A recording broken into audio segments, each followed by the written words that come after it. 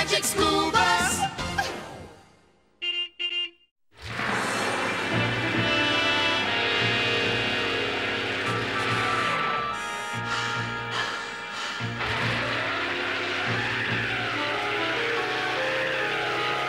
I can't believe this. We're stuck in Dorothy Ann's book. What'll happen to us if we can't get out? Guess we'll be food for the bookworms. Carlos!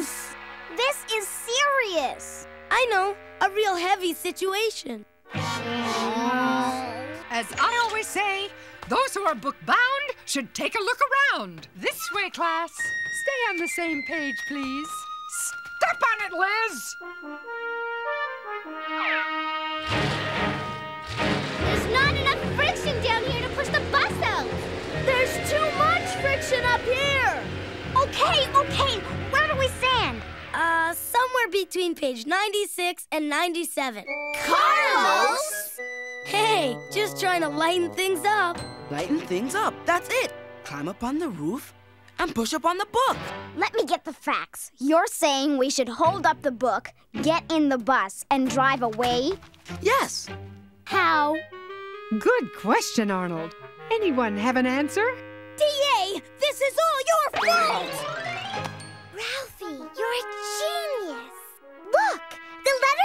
off the page. I have a plan.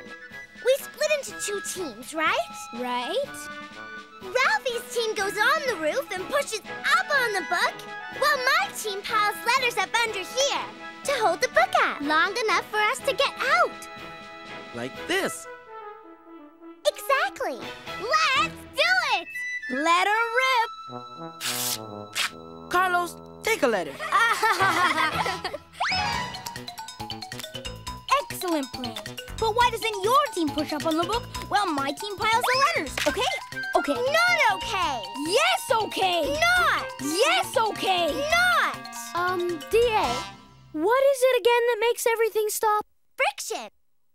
And if there's a lot of it, you can't get anywhere. Right, Ralphie? Yes. Well, I think there's a little too much friction between you two. So if we're ever going to get out of this book, We'd better get rid of the friction between us. Sorry. No, I'm sorry. Well, I'm even sorrier. No, I'm sorrier. No, I'm sorrier. And I'm sorrier than both of you. Okay, let's try it. Push! Come on, you bunch of Weasley wimps, push!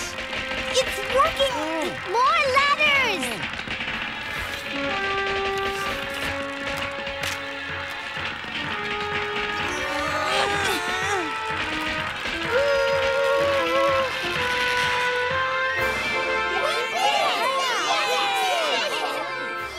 Out of the book and through the words, back to the class we go.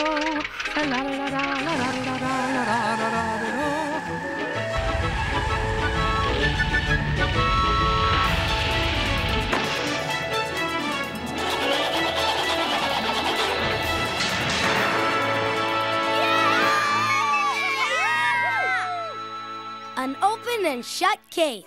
Carlos!